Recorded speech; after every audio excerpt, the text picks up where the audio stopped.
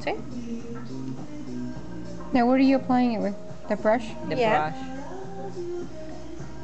So all it is is the coloring and a little peroxide. That's it. Peroxide is to activate, right? Mm-hmm. Mm-hmm. And then you just brush it up nicely.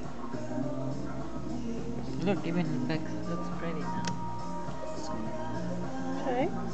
Not to get so much on that. I have to give you the, The name skin? of the number of the lady who did my face. I have it in my purse. Oh, yeah. I keep forgetting. You can always text it. Text it to me. It's, it's better, actually. Okay.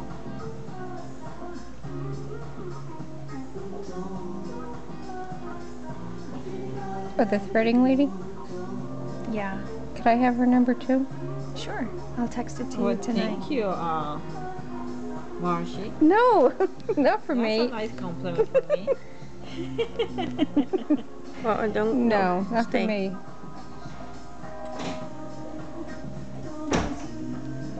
No, it's just good to have in case. you know, Barbara, you we're run tinting the lash, the the eyebrows. Yeah, in case you have someone that, oh, I want to have threading. Oh, yeah, and you know somebody? You know, I'd like to try that.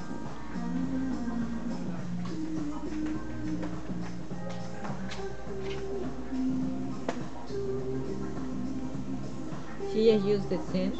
Oh, yeah. That was Barbara. So that was peroxide, yeah, okay.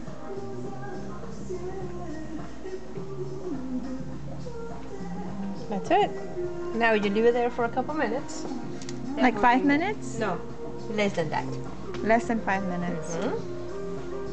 You close this. Be very careful not to stain yourself. Or if I'm gonna wash myself. What if we accidentally make it thicker, What? like a man's eyebrows?